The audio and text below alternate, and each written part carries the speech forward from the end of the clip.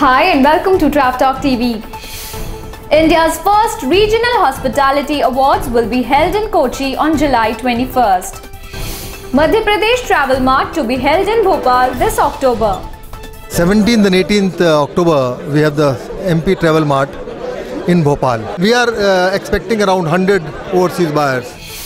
Vkonect successfully launched its first MICE event in New Delhi. It was a first for us because we had decided to marry the corporate hosted buyers on day one with the trade buyers on day two.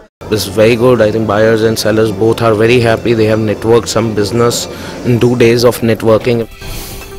Air India proposes to launch direct flights from New Delhi to Toronto and San Francisco. Indore will be hosting the 31st IATO convention from August 20th to 23rd.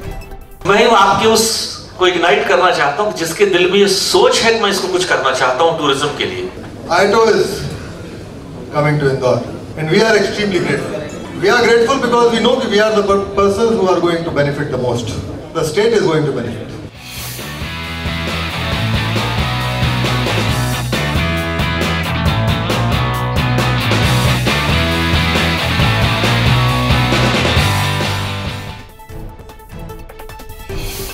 Australia's StayWell Hospitality Group opens its first Park Regis property in Jaipur.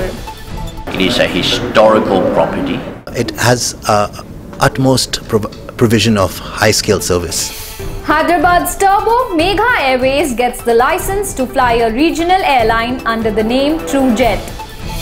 JetSetGo introduces India's first online marketplace for private charters. it was more in need of the industry than a business idea per se and it, it caters to transparency ease of booking improvement in services For more information on this news, watch our detailed capsule on TravTalkTV.com.